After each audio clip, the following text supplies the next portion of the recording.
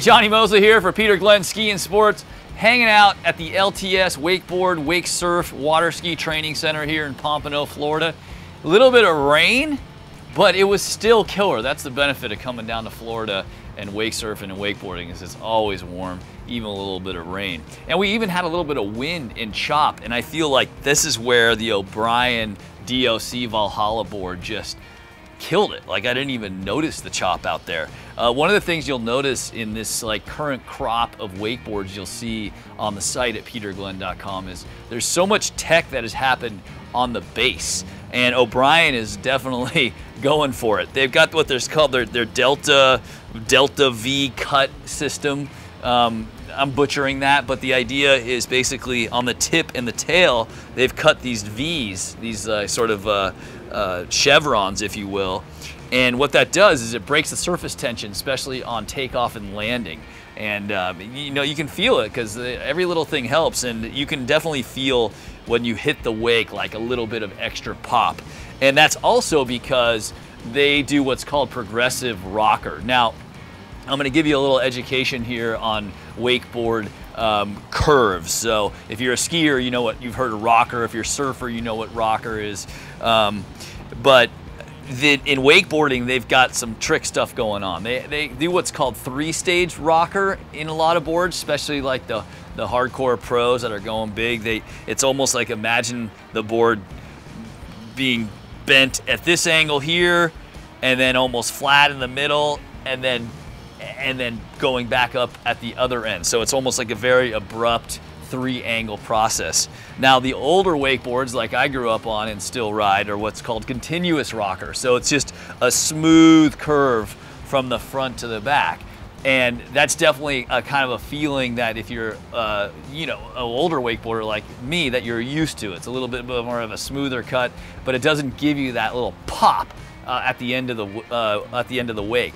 Um, so, but what O'Brien's done is kind of combine the best of both worlds, and they call it progressive rocker. So they have a little bit of three-stage rocker up here, but it's blended into the continuous rocker. And I, I kind of like that. So you'll see when I, if I review some of the more, uh, you know, aggressive boards, the three-stage rockers, they they can get a little bit, you know, for old school guys like me, it would be the equivalent of riding like. Um, you know, a, a, fish snowboard versus a, you know, a more traditional snowboard or, a, you know, a jibbing board versus a um, more, you know, slalom ski or something like that. So it's a lot of it's just preference, but I like how O'Brien's kind of hit that, that medium, medium tone. Um, they've also got uh, uh, what they call a center spine and uh, you can't really see it, but there's a little bit of a ridge right in the middle of the board. And that's really nice because uh, you, when you out jump the, the landing, meaning like you sent it past your intended landing on the backside of the opposite wake and you land out in the flats, it's jarring, um, even when you go as small as I do. but it, it, this, this breaks that tension when you land, so it kind of squirts the water out the side and gives you a little bit of cushion, which is really nice. Um, and you'll notice, if you haven't bought a wakeboard in a while, that in combination with the new style boots is Gucci. If you're used to the old style where it's like, Kuh! the new boots that you can get are amazing and they really protect your ankles and your feet.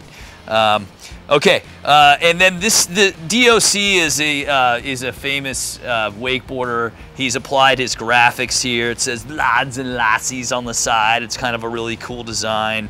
Um, and he swears by this board, he backs it. This is a 143 length that I rode. It's good for up to 250 pounds.